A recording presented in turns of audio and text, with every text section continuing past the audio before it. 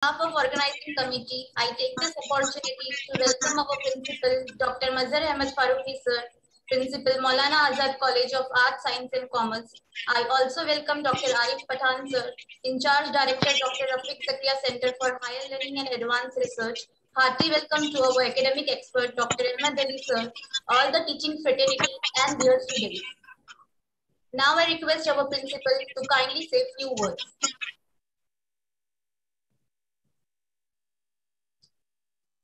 Good morning. Assalamu alaikum wa rahmatullahi. Today's speaker, Dr. Ahmed Ali sir, Dr. Arif Pathan sir, all, all organizing committee members, and dear participants. Indeed, today's topic is very interesting and it will be useful to each and everyone because we know that everyone is having some near and dear with diabetic symptoms.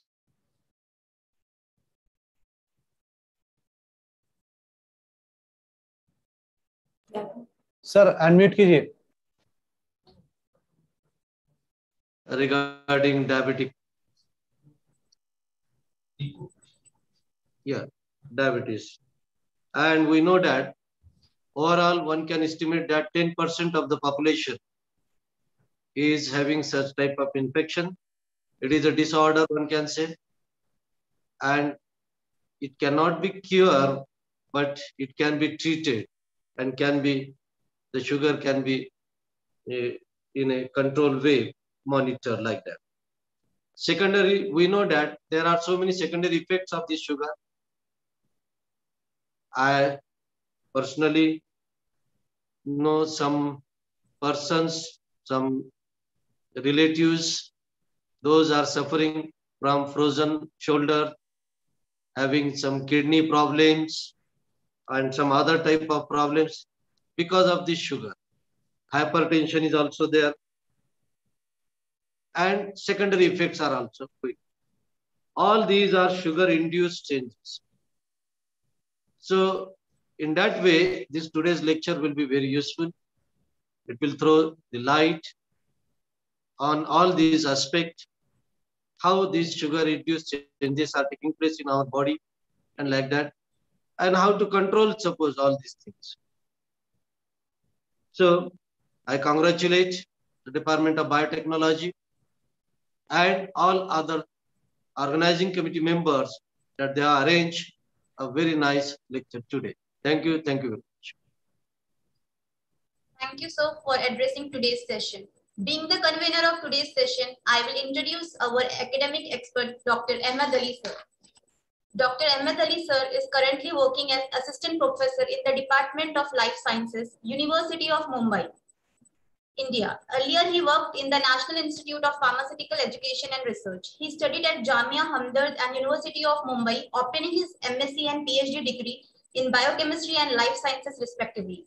He has over 16 years of teaching and research experience. Presently, he is heading the molecular biochemistry laboratory in the department where he is guiding MSc and PhD students. His areas of research are protein and DNA biochemistry with special contributions on glycation of biomolecules, DNA damage, and anti-glycating properties of natural products. He has also made significant contributions in the area of artificial sweeteners and their role in the process of glycation. Cyanobacterial systems are another thrust area in his lab, where researchers are exploring various applications of these organisms in the field of cosmetics and health benefits. He has received several extramural grants from government and private funding agencies. He has collaborators from national and international laboratories. He is serving as the reviewer and member of editorial board of various international journals like Chemosphere, Frontiers in Plant Sciences and Microbiology, Glycobiology, International Journal of Biological Macromolecules, Annals of Phytomedicine, and other journals of Elsevier and Springer. He has contributions more than 35 research articles in peer-reviewed international journals. He is also author of one book and several book chapters from Springer and elsewhere publishing houses. He has presented his work in many international and national conferences as invited speaker and resource person. He has also worked as member of organizing committee for many of these conferences. After brief introduction of our academic expert, may I now request Dr. Ahmed Ali sir to take over the session and enlighten us with the topic sugar-induced changes in the structure of biomolecules in hyperglycemic condition. Over to you, sir.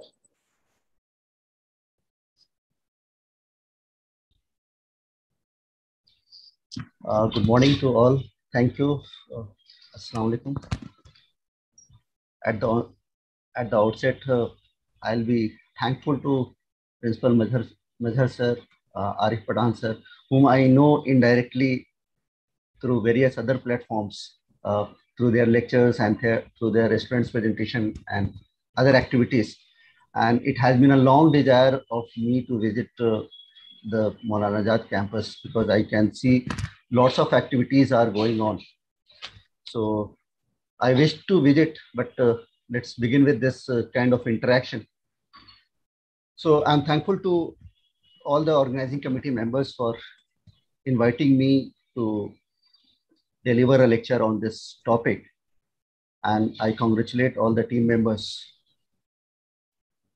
So uh, I think the topic itself uh, may be a bit surprising or maybe looking uh, a bit difficult for our UG students uh, whom I uh, hope I am addressing them also uh, because I can see many researchers and many established faculties are here. So for them, it will not be a very difficult thing to understand. But uh, let me make it very sim simple. I'm going to talk about the process of diabetes and what our molecules do during that process. So basically, I'll be talking some aspects of biochemistry of diabetes in very simple terms. So may I start my presentation? Yes, sir.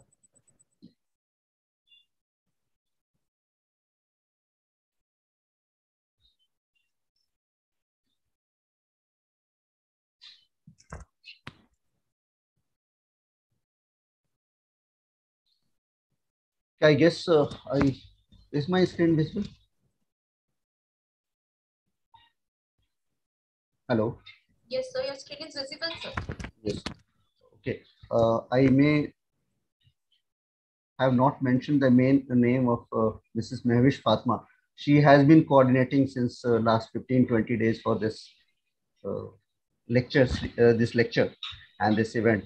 So I'm thankful the way she has coordinated and organized this. It is really indeed remarkable. So uh, as uh, the topic was mentioned to you that it is sugar induced changes in the structure of biomolecules and hypo, hyperglycemic conditions.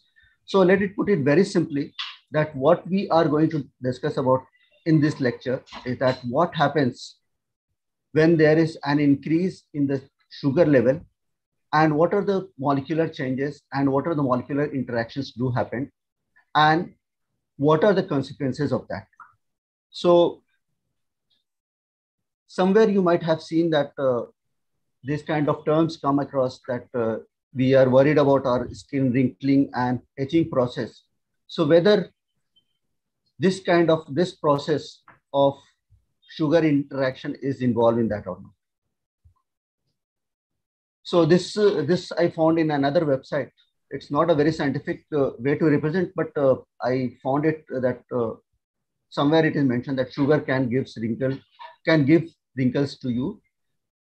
The basic mechanism is that the sugar level, if it is increased beyond a level, it in, interacts with the proteins which are there in our cellular system. And one of them is collagen, which is there in the extracellular matrix.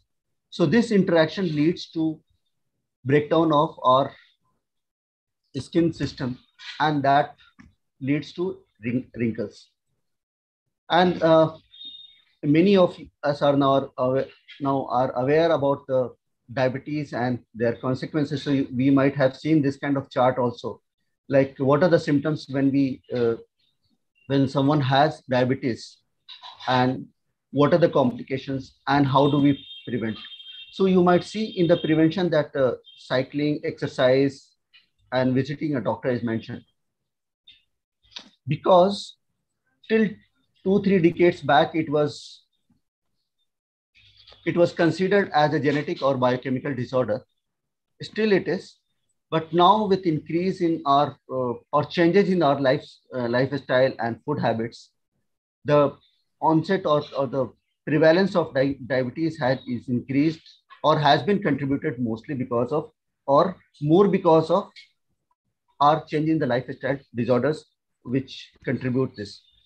So the lecture overview will be this diabetes and glycation, advanced glycation products.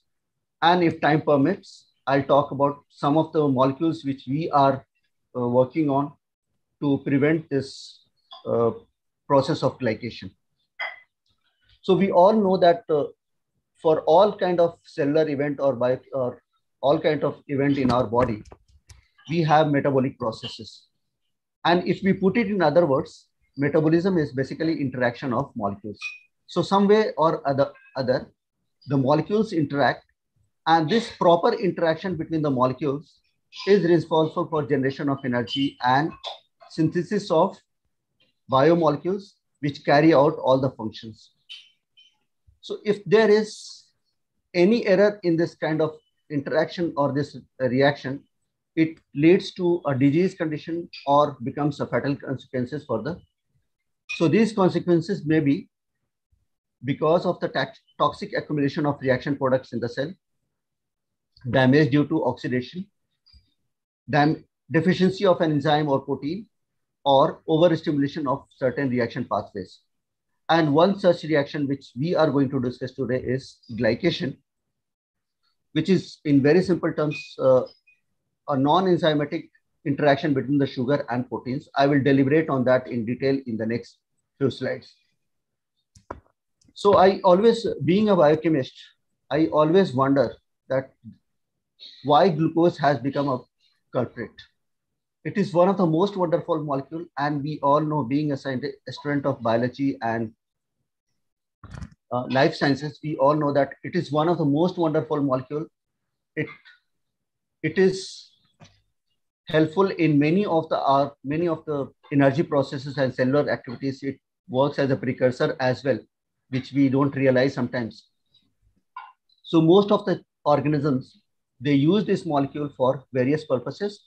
The two main purposes are the energy and carbon skeleton provision.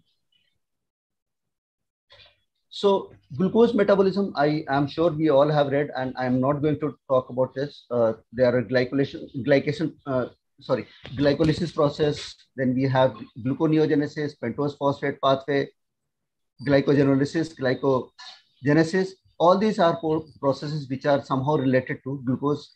So they are primary and secondary metabolism. So even if there is a minor fluctuation in metabolism of glucose, the function of many organs and tissues, they go haywire and lead to a disease condition. So as far as glucose metabolism impairment is concerned, we do see conditions. Uh, we see two conditions, that is hypoglycemia and hyperglycemia.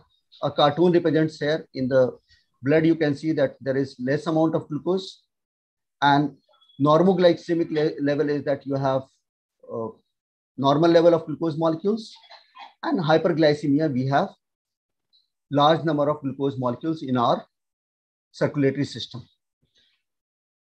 So we all know that, and we have been reading that uh, India is going to become the diabetes capital of India by 2030 or 2020 or 2040, because we have seen a fourfold rise in the number of diabetics from 108 million to 420 2 million all over the world or globally. And half of this population, which, uh, which is diabetic, is living in India, China, USA, Brazil, and Indonesia. And as I mentioned previ previously, that this uh, increase in the number is also because of changing in the lifestyle and our food habits.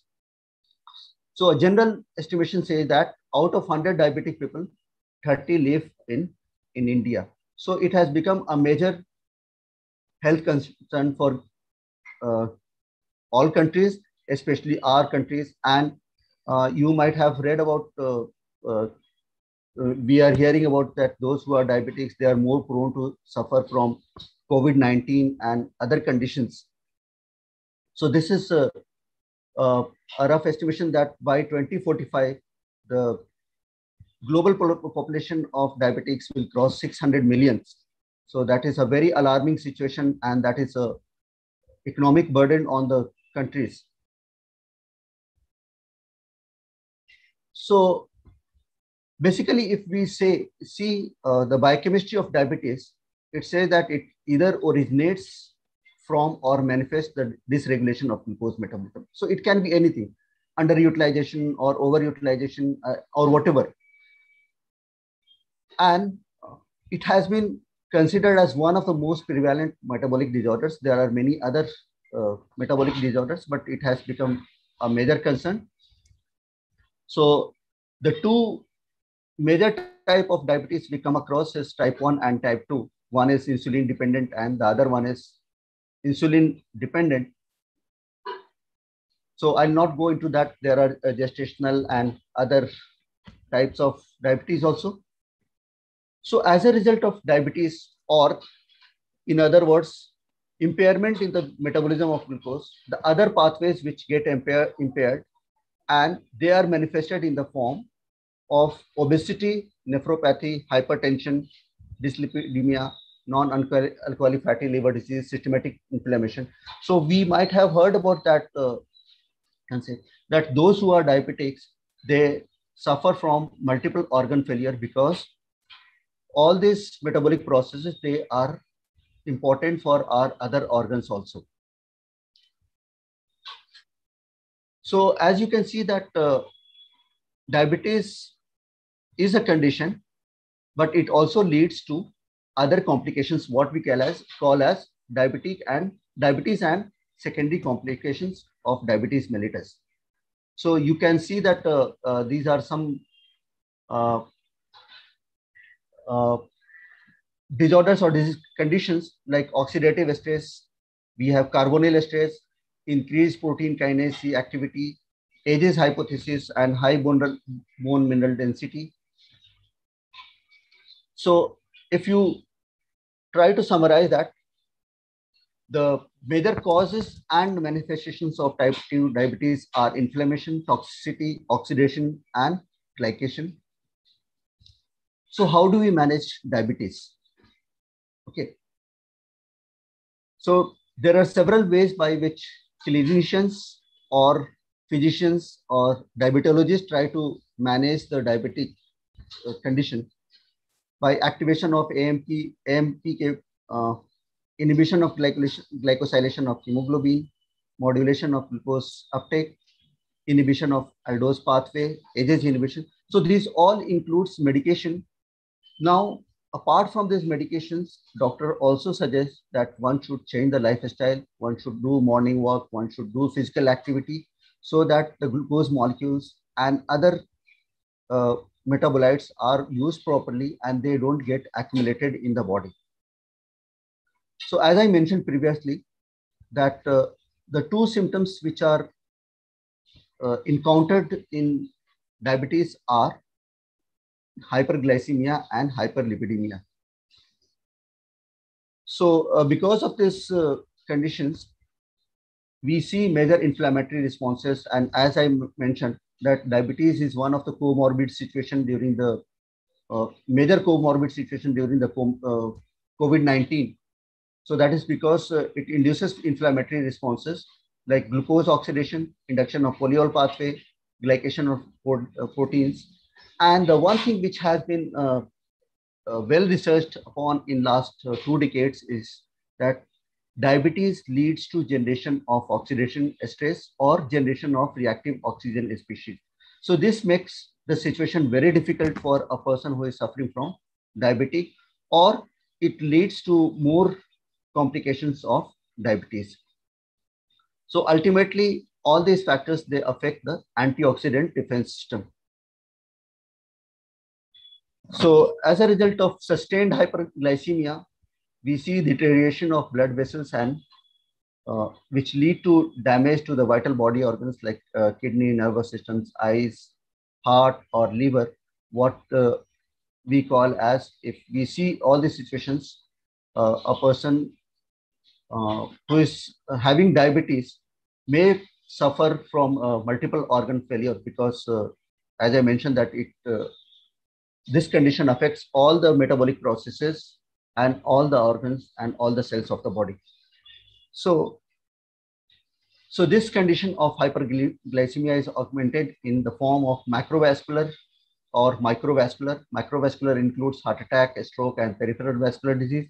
Microvascular, retinopathy, neuropathy, and nephropathy. So I hope uh, uh, my fellow colleagues and uh, my uh, dear students are trying to understand this because I'm not going into detail. Uh, what I'm trying to come to is uh, what is the biochemistry of this glycation and what happens uh, during the process of glycation. So the, the modern theory of hyperglycemia says that all types of diabetes has two common features. One is hyperglycemia and the other is consequence of that hyperglycemia it is known as glucotoxicity. Means there is an abnormal level of glucose which becomes toxic to, toxic to our body. So we can realize that it is one of the wonderful molecule which becomes toxic to our body because it has crossed the threshold value in the and threshold value we know that uh, it's 70 to 100 uh, milligram uh, per 100 ml in normal condition and so hyperglycemia leads to accumulation of undesired products due to excess amount of glucose present in the body. And how does that happen? That is what I'm going to discuss. So ultimately coming to this conclusion of diabetes and hyperglycemia, the modern theory of diabetes says that it is because it is a manifestation of or it results in oxidative stress and glycation. Okay. And these two processes are being uh, assumed as responsible for all the secondary complications of diabetes. So this is what I'm trying to come to. When there is a hyperglycemic condition for long term, this glucose molecule, which is quite reactive because of its carbonyl group, because of its reducing nature, it can bring about modification in the proteins. And these different modifications are protein carbonylation, protein nitration, succination, protein smolation, protein acetylation, and protein nitrosylation, and protein glycation. glycation. So what does it mean? It means that the sustained hyperglycemia or a long-term hyperglycemic condition in our body leads to the modification of proteins. And who is culprit behind that? The glucose molecule, because it can react with the protein and modify the protein. In simple terms, if there is a modification of the protein, the protein will lose its function and the organ will not perform its normal function because of this changes or alteration in the or loss of function of protein. So this is the uh, major uh, consequence which we see during hyperglycemic condition in the body. So I hope this uh, is very clear too. So I'm coming to the one of these modifications which happen in the body, and that is a post-translational modification. This happens normally also, means under normal normoglycemic condition level uh, condition also. But the effect of this process is realized when there is a hyperglycemic condition for long term. Now, what it is? So, a very simple definition is a spontaneous non-enzymatic covalent interaction between the amino group of the proteins or other nitrogenous compounds and the carbonyl group of the sugars. Okay, so this is a very basic reaction which happens during normal condition also, but body has the mechanism to take care of all this uh, uh, harmful or deleterious effect of glycation under the normal conditions. But what happens during the hyperglycemia? There is an increased rate of glycation because there is high level of sugar in the body. So there is an increased rate of glycation. And this process being non-enzymatic, it is uncontrolled and it leads to generation of very harmful products, which are which loss which cause loss to many of the molecules in the body. So uh, one must realize that it is different from the glycosylation, which we see uh, once a protein is under uh, is being synthesized in the endoplasmic reticulum and Golgi apparatus, or is synthesized. That process is known as glycosylation. So this process is uh, also known as non-enzymatic glycosylation to make it different from the glycosylation, which is a very tightly controlled process in the endoplasmic reticulum and, and the Golgi apparatus. So this process, uh, uh, I'm very, I'm sure that uh, all of us have understood the meaning of glycation, that it is a non-enzymatic covalent process which happens between the sugars and other molecules which have free amino groups. So you may also realize that uh, we have used the uh, long-lived proteins. Why? Because uh, we'll see that this process is non-enzymatic, so it takes uh, it uh, it is a very slow process. It takes several weeks to happen. So this is what happens when you have uh, a high level of glucose in the body. So, so this is circulation where glucose is flowing in the body, in the circulatory system. And you have other proteins. We all know that uh, albumin is one of the major uh, serum protein. We also have hemoglobin and both these proteins which are there in the circulation in large amount and they have longer shelf uh, half lives. So they come across this uh, uh, sugar molecules and there is an interaction between them and there is a formation of advanced glycation products. So I'll so this uh, figure clearly shows that. So there is a glucose molecule which interacts with the amino group of the proteins, leads to formation of very famous intermediate which we call as Schiff base, and then we have uh, this uh, further undergoes modification. This leads to Amadori products, uh, which have which we have in the form of glycosylamines or uh, fructosamines and ultimately, these products get modified and converted to advanced glycation and products. So just below these uh, intermediates and products, we can see uh, you can see that uh, uh duration is mentioned. So conversion of glucose to Schiff bases takes hours to days. From Schiff base to Amadori products, it, it takes days to weeks. And from Amadori products to AGEs, it takes several weeks to. So the process is quite slow, but once it happens, it is irreversible once the glycation, once this, uh, this Amadori product is formed and it is on the way to get converted to AGEs, there is no reversal. So although it has taken several weeks to get generated, it will affect the other molecules, other short-lived proteins also. Okay, so we can see here that uh, uh, glucose is increased in the blood vessels and hyperglycemic condition is established that leads to inflammation oxidation that leads to increased glycation and inflammation and damage to most of these uh, organs and tissues of our body. So, so the process of glycation is very clear to all of us. Now this process can be divided into two or three stages depending on uh, like when uh, how do you classify? Some people classify it in uh, divided into three stages and some people divide into three. So let's, uh, for our convenience, we will divide it into three stages. Early stage where the reaction starts between the glucose, uh, carbonyl group of the glucose. Uh, let me make it very clear. Any carbonyl group, carbonyl group of any sugar can react with a protein. It's not just glucose. In fact, there are sugars which have more reactive carbonyls like fructose and ribose.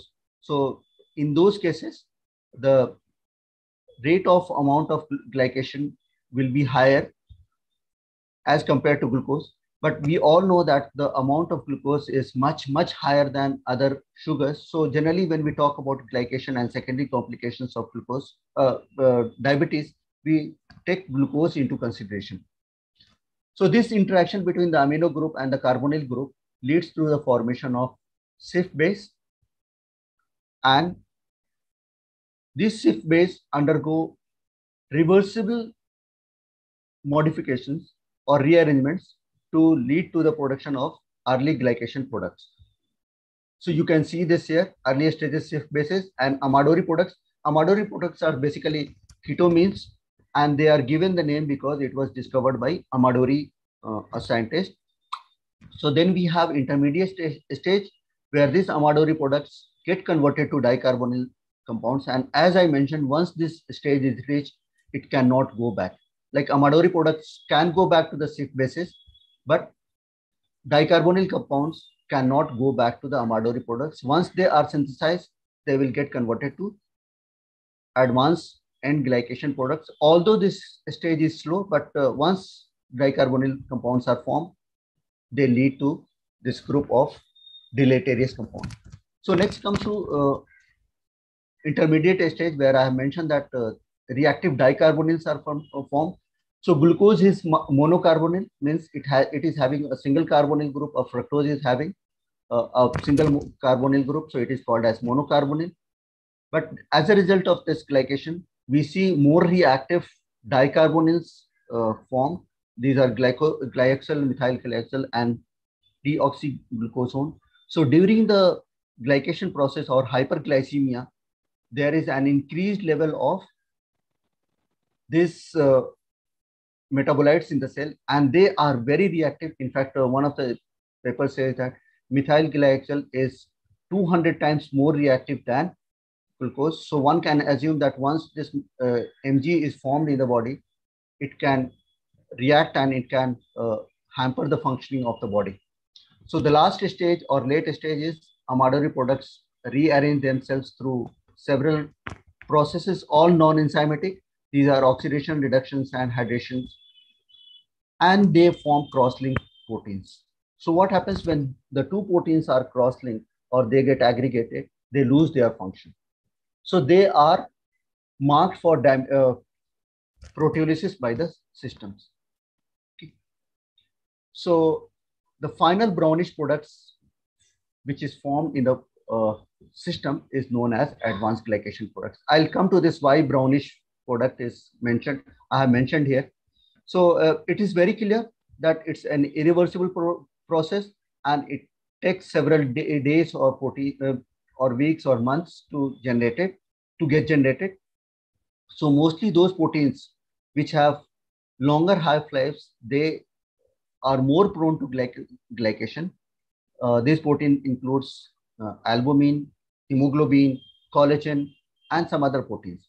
But once these advanced glycation products, they can affect the normal uh, short-lived proteins also.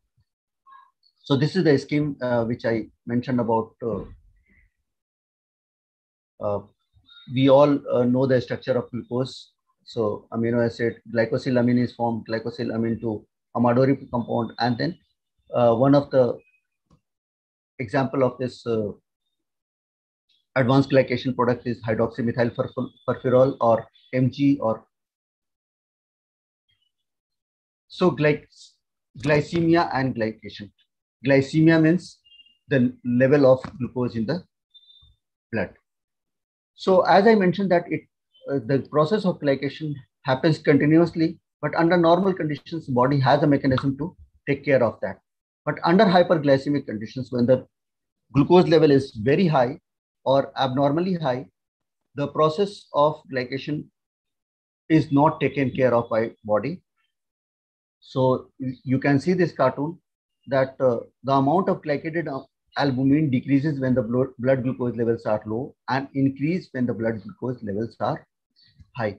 So one can measure the the amount of glyco, uh, glycated albumin in the blood also. So when we go to a diabetologist or uh, or a pathologist, generally three types of tests are done. Uh, we may not be aware because we don't come across this term very. We all know that blood glucose are uh, measured fasting and postprandial. Uh, that gives an idea about the several hours. Then we have glycated hemoglobin, the albumin, that gives an idea about the hyperglycemic condition for about two weeks, four weeks. On the other hand, if if we measure glycated, glycated hemoglobin, it can give us idea about the hyperglycemic condition of past three months because the half-life of uh, hemoglobin is 90 to 120 days. So this is uh, one of the major uh, parameter. The test is uh, slightly costly, but uh, uh, many of the physicians are now relying on this test. So this glycated hemoglobin, you we may not be aware of the term, but it is written as HbA1c on the clinical test. So I hope someone might have seen that uh, that terminology uh, during study of diabetes and something. So in one of the uh, sentences, I mentioned that the final brownish product is called as uh, advanced glycation product. Before we came across this term glycation, we were all we all knew about this reaction, Maillard reaction, this, which were discovered by uh, Louis Camille Maillard in 1912 when he was heating amino acids and reducing sugar together. And that resulted in color change or yellowish brown. So this has become, uh, this is known as Maillard reaction. So uh, those who are working on glycation or those who are working in the food industry, they are aware of this Maillard reaction, both for good reasons and bad reasons. Okay. So you can see that when you cook the food, when you bake the food, heating, this color of the uh, baked item change to brownish. So now you can understand what is the reason behind that browning which we have in uh, fried or cooked uh, or baked items. That is because of the Maillard reaction and that is uh,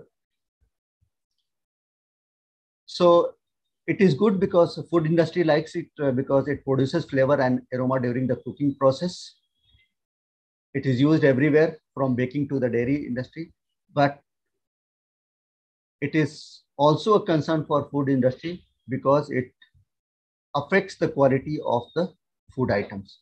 So these uh, baked items or these uh, brownish items, they are not stable and they sometimes they generate some kind of uh, they compromise the stability of the food items. So roasted coffee flavor, the yellow gold color of French fries, golden brown color of bread, all these things are because of the because of the Maillard reaction. And Maillard reaction in very uh, simple terms for our uh, biochemistry or our biology students is basically the reaction between the sugars and proteins.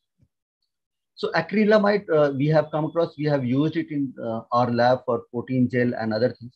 They are also synthesized during the Maillard reaction, uh, which are formed uh, as a reaction between the asparagine and a dicarbonyl. It is found in many foods and it has become a major concern because uh, uh, cancer biologists, they consider it as a potent carcinogen. So the level of acrylamide should be very low in the food. So now I'm coming to uh, advanced glycation products. It's a very heterogeneous group of molecules.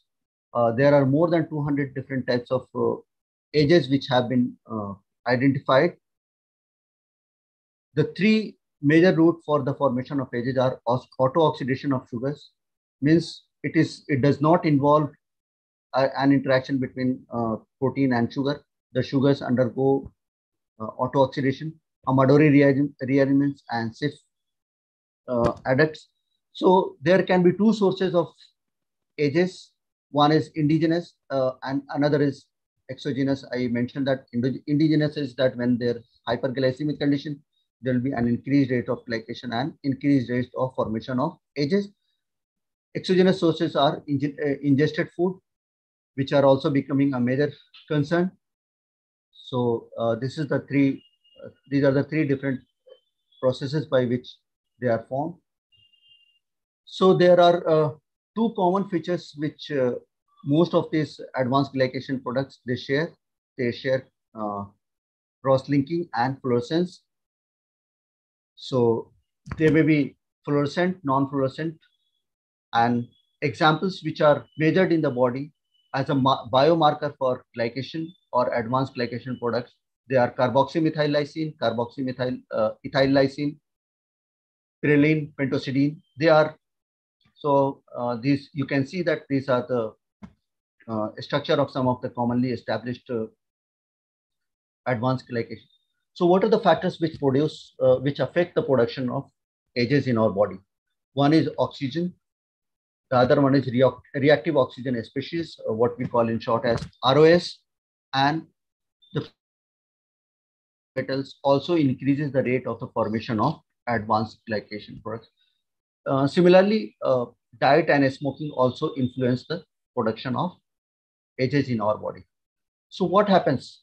How do AGEs play a role in the diabetes? We can see that there is a, a, a condition hyperglycemia that leads to increased mitochondrial production of uh, reactive oxygen species that leads to oxidative stress that leads to beta cell dysfunction which produces uh, insulin and we see diabetes condition.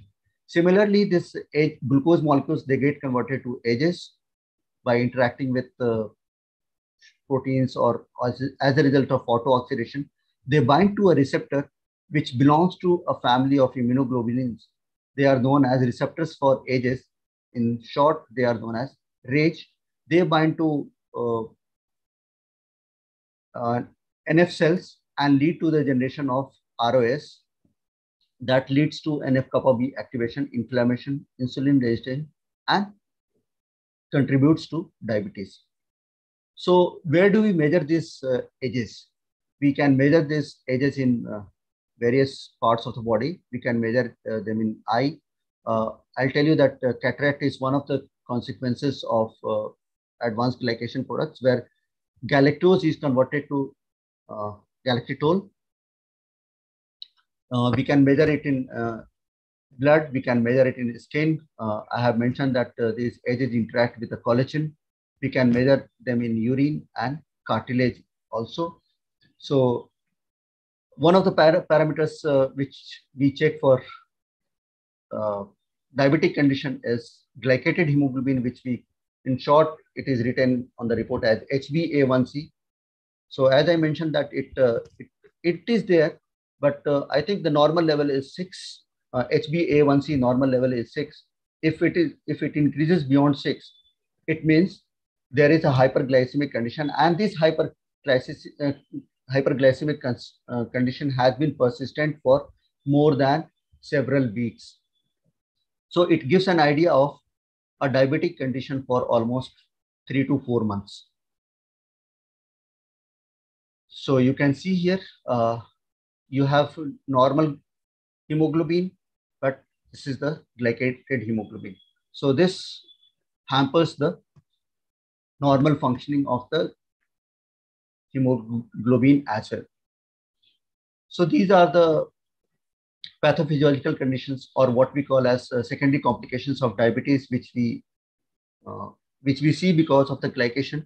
We have aging, diabetes mellitus, Alzheimer's, Parkinson's, cataracts, retinopathy, so this diagram shows all those. Uh, so at molecular level, what are the processes which are affected by glycation? So these uh, advanced glycation products, they lead to precipitation of, precipitation of proteins, cross-linking of proteins, aggregation of proteins, generation of reactive oxygen and nitrogen species, and damage to the DNA, as well as damage to the membranes by damaging the lipid molecules in the membrane.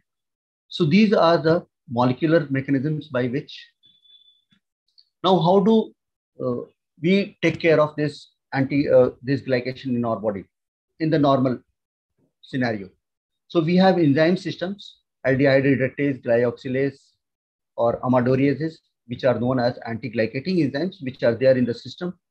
We have prote proteasome system, which degrades uh, AGE modified proteins, I mentioned about that the proteins get aggregated or they get cross-linked. So once this, once these kind of modifications happen to the protein, they are marked for degradation by our proteo proteasome systems.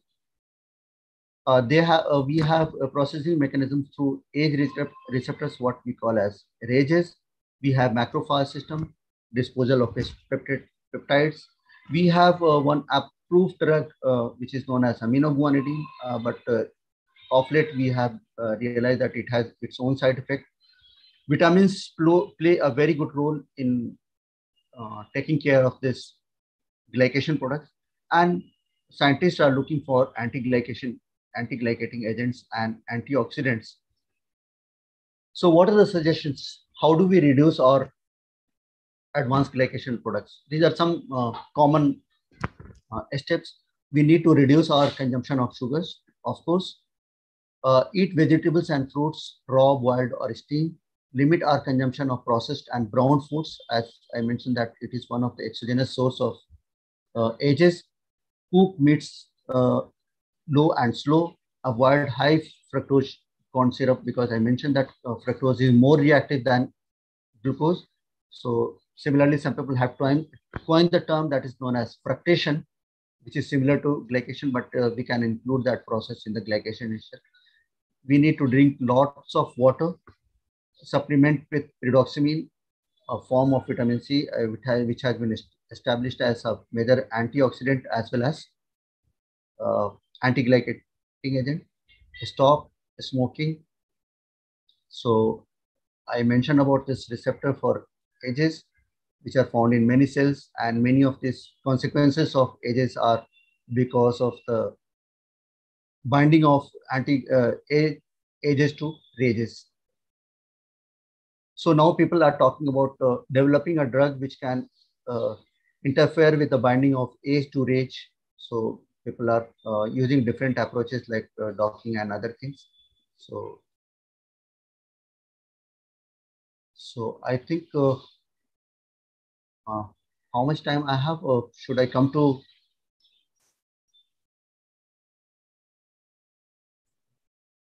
More 10 minutes. Pardon? More 10 minutes. Sir. 10 minutes. Okay, thank you.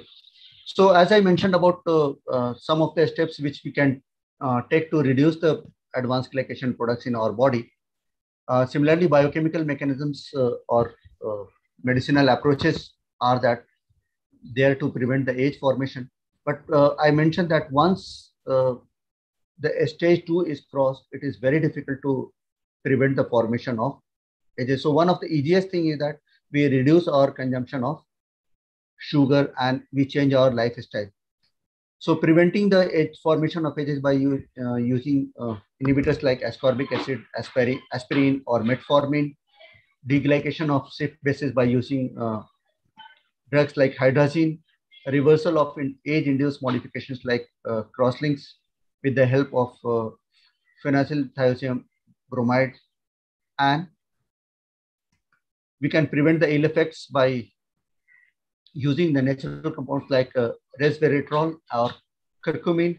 So this is uh, uh, uh this is the different uh, uh, or what we can say that there can be different approach to prevent the formation of AGEs.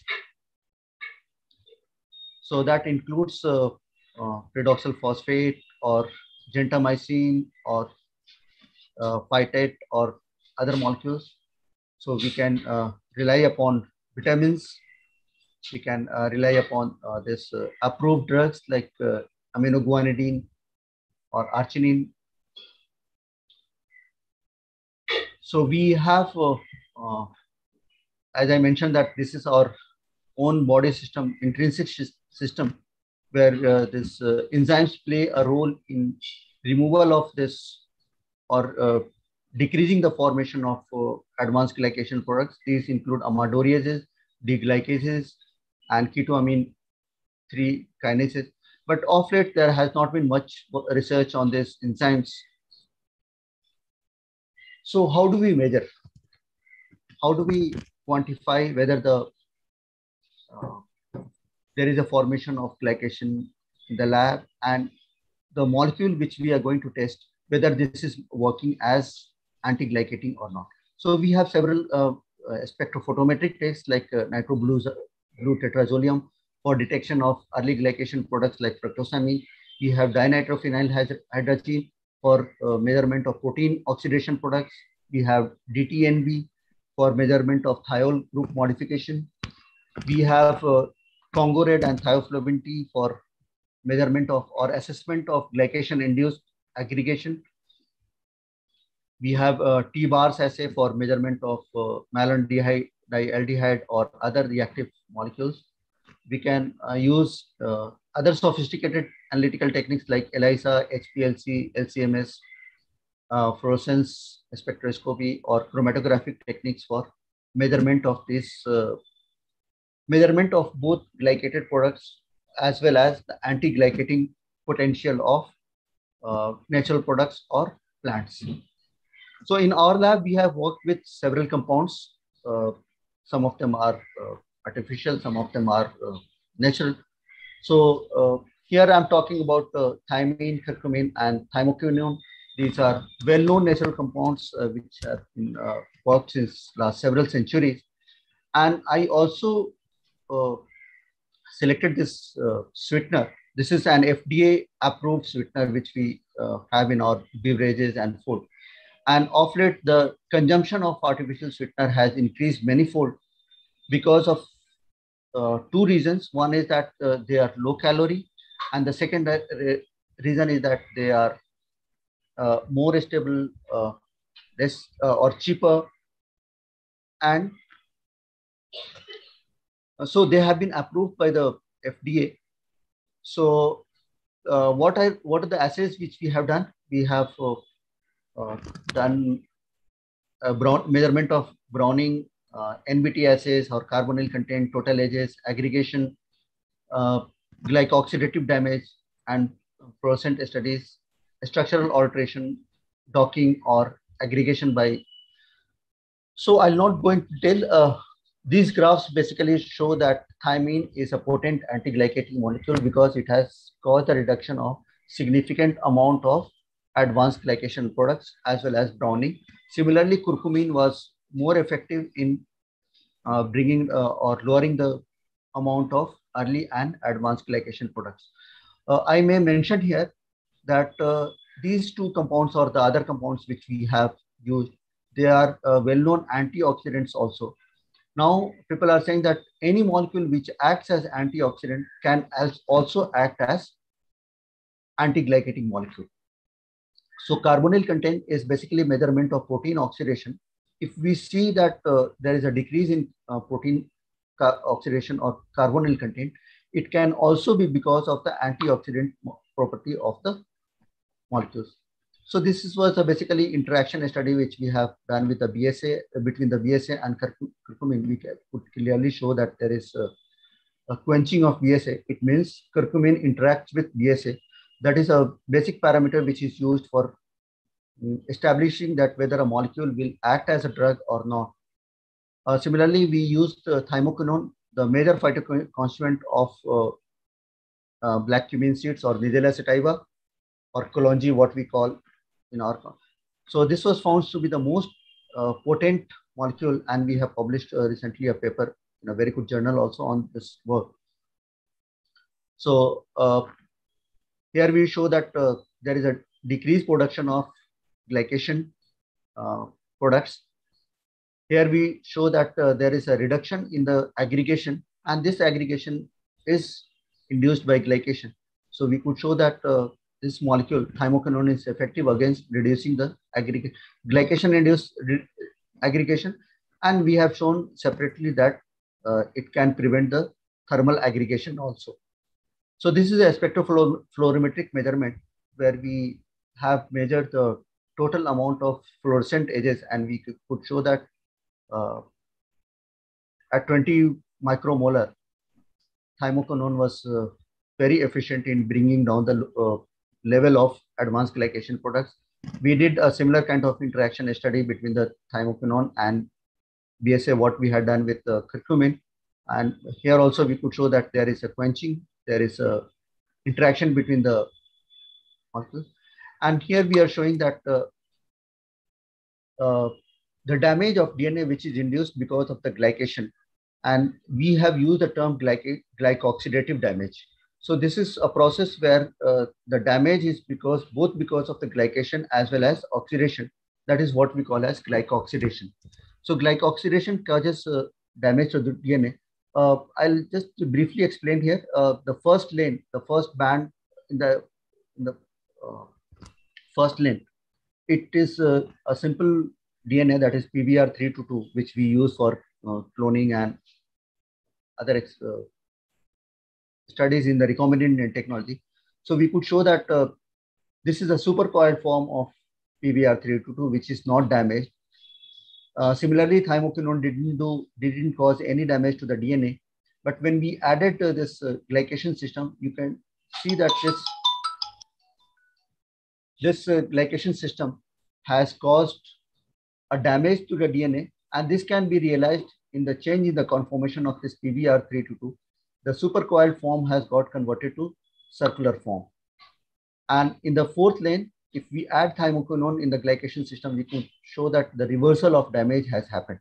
So to conclude with, thymoquinone is also preventing the damage to the DNA or glycoxidative damage to the DNA.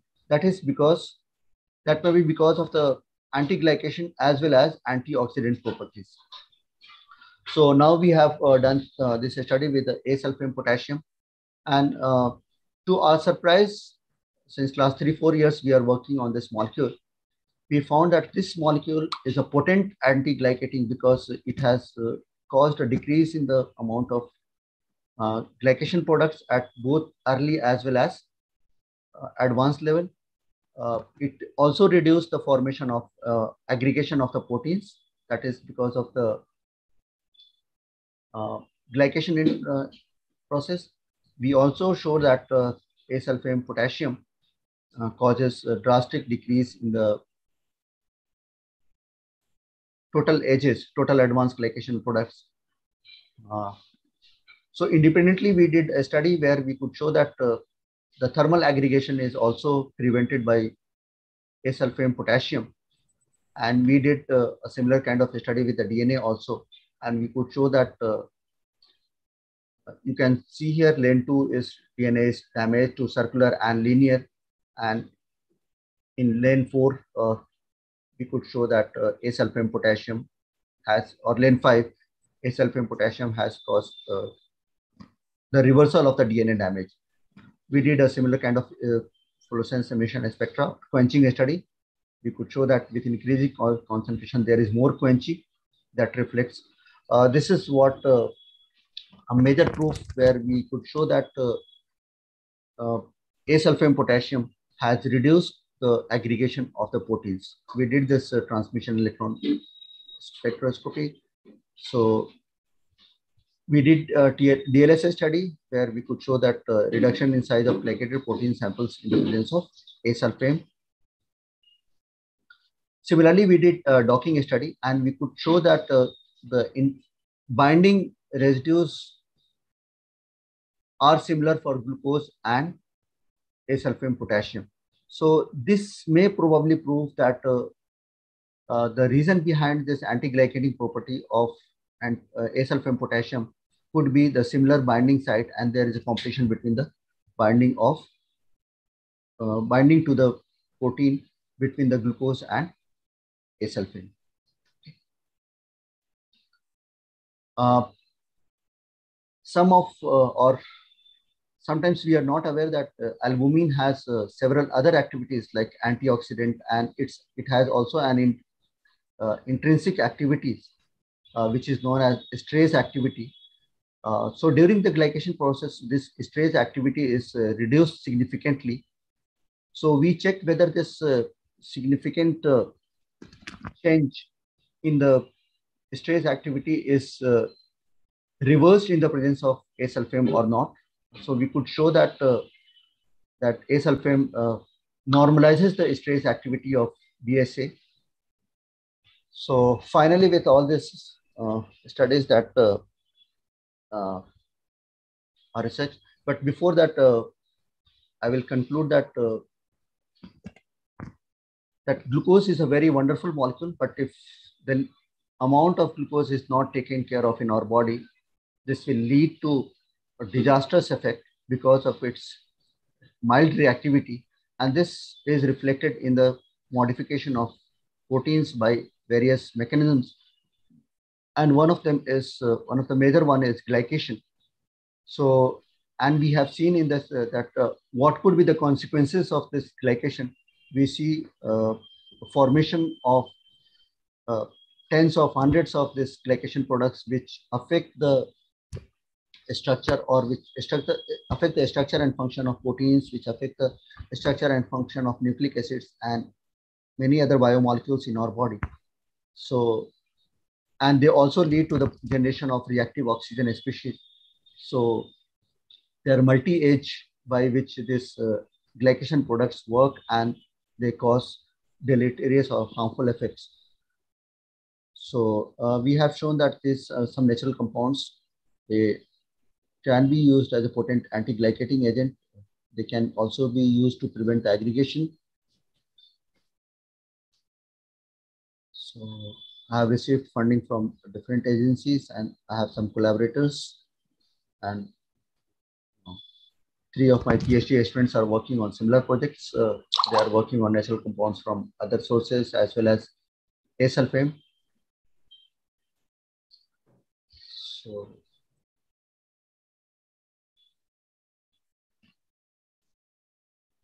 Thank you, sir. So one question, how do we prevent the formation of Amadori products? Amadori products uh, can be formed by using hydrazines, which can block the formation of uh, base. And that Schiff base is because of the formation of uh, interaction between the glucose and or carbonyl group and amino group. So if we prevent this interaction between the sugars and the proteins in cell, so the one way that we reduce the amount of glucose.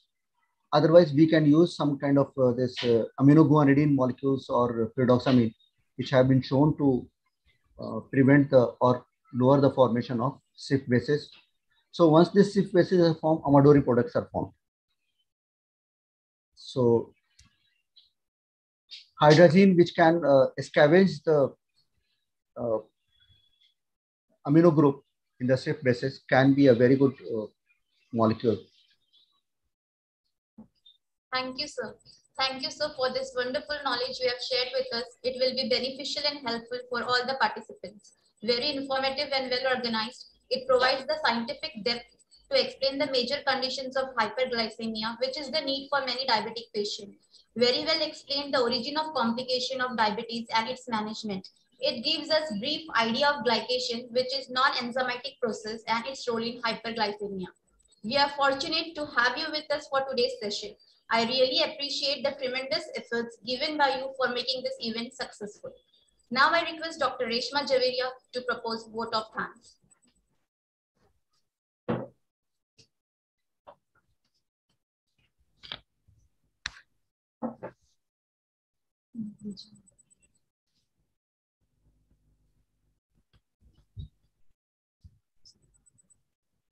Good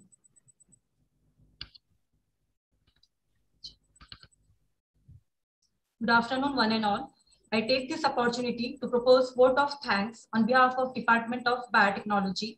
I would like to express my gratitude to our beloved principal, Maulana Azad College of Arts, Science and Commerce, Dr. Mazhar Ahmed Faruqi sir, who has always been a source of inspiration and motivation for all of us.